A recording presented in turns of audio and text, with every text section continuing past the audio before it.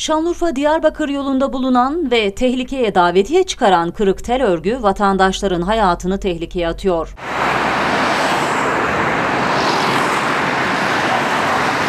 Yolda üst geçit olmaması nedeniyle hayatları tehlike altında olan vatandaşlar mikrofonlarımıza konuştu.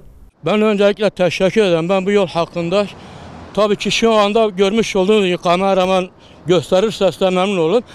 Bu yol hakkında tabii şimdi yaya geçişi Allah muhafaza etsin bir kazaya sebep olmamak için ben en azından büyüklerimden yani Büyükşehir Belediyem olsun, valim olsun, devlet büyüklerim olsun buraya en azından bir üst geçit yapılması bu yani hiç tekse bir kaza beladan kurtulmak için bunu bir önlemi alsalar saygılarımı, teşekkürler arz ederim. Hiç tekse Milli Müdürlüğü'ne gelip gidenler yarın okullar açılacak, çocuklarımız var, evlatlarımız var.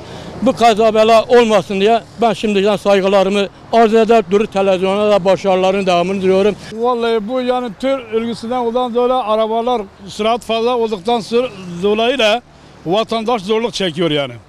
Ama Bundan dolayı yani tez için çaba göstermek için e, devletten rica ediyoruz yani. Çünkü araba yüzden gidiyor yani.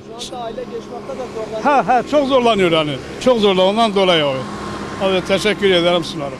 Ana yol olduğundan dolayı insanların can güvenliklerin, çocukların az önce kendim gördüğüm çocuklar karşı taraftan karşı tarafa geçerken araçların askara altında kalmış olacaktı. E, can güvenliği kesinlikle bu şekilde oluşmaz. İnsan e, canı bu kadar ucuz olmamalı. Bir an önce yetkili arkadaşlarımızın şube çalışanları bu tel örgülerin en azından düzeltilmesi konusundan e, rica di- ricalarımı iletiyorum. En azından duyarlı bir şekilde şu örgülerin yapılmasını istiyorum.